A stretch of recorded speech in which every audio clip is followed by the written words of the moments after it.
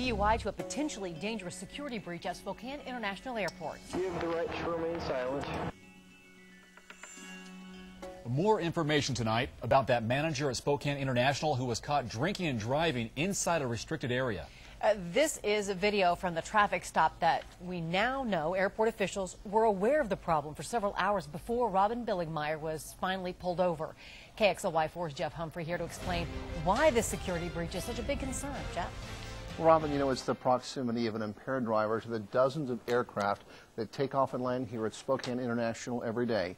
Police reports show in the moments before he was arrested for DUI that Robin Billigmeier was here in the maintenance shop that he manages. Now, fortunately, he got in his truck, he got on the service road, and he drove out of the airport without incident. The current concern is what would have happened if, because he was impaired, he had missed this turn right here, gone just another block further, and he would have been on an active taxiway. The thing that really concerns the aviation community is if he had missed that turn, made two more wrong turns, and would have been on the active runway.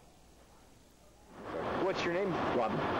Robin Billigmeier. Robin Billigmeier was pulled over by airport police a little past 11:30 January 15th. They called this state trooper to the scene when officers realized they had stopped an airport manager. However, police had already been looking for Billigmeier for several hours.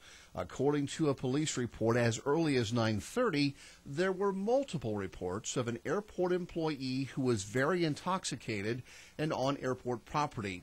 At least 2 hours would pass before Billigmeier was finally spotted leaving this gate, running a stop sign, and then begin speeding towards Spokane. How much have you had to drink tonight?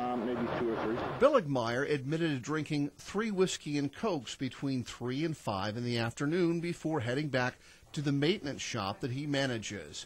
It's not clear if Billigmeier is typically on duty during those hours, but airport officials are even more worried that Billigmeier was behind the wheel and behind security fences while under the influence of alcohol. We're obviously we're very protective of the airfield environment. It's, it's safety and security of the airfield is our highest priority. But we also are obligated to protect our employees until the investigation is fully complete. Now, KXLY4 has now filed public records requests with the airport to learn if this is the first time that Billigmeier has been suspected of drinking and driving around this airfield. An attorney hired by the airport to investigate safety claims against Billigmeier in the process of issuing her findings. Jeff Humphrey, KXLY4.